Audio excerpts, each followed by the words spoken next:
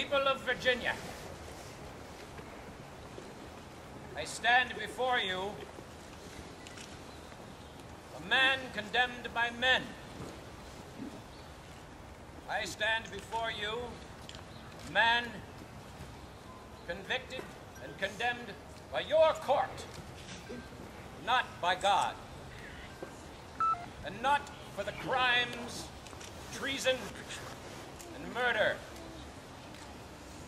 but for interference. My crime was that I interfered with that institution so cherished by you, which is itself the greatest of all crimes. A crime against God, a crime against humanity itself. That sum of all villainies, slavery. I dared to act up to the instruction of God, that I should remember them that are in bonds as bound with them. I dared to attempt to bring out of the darkness of slavery and into the light of freedom men, women, and children held against their will in cruel and fraudulent bondage. They are my brothers and sisters.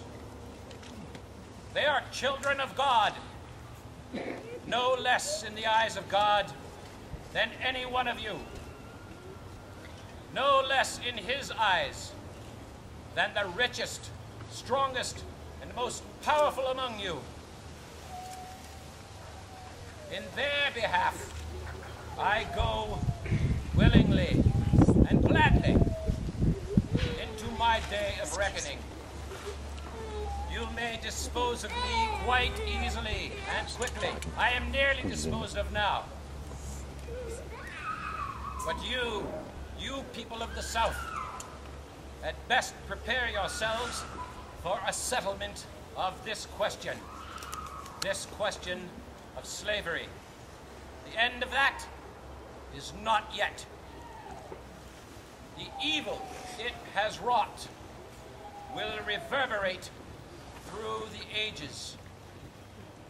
And your day of reckoning is yet to come.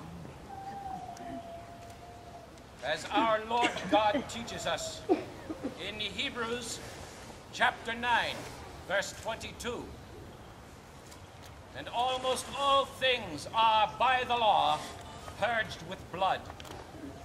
And without shedding of blood is no remission. I, John Brown, am now quite certain that the crimes of this guilty land will never be purged away but with blood.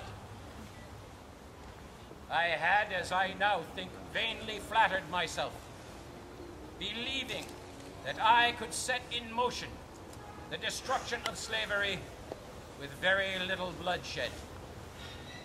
I see now that I was wrong. Nonetheless, slavery will end. The oppressed shall be free.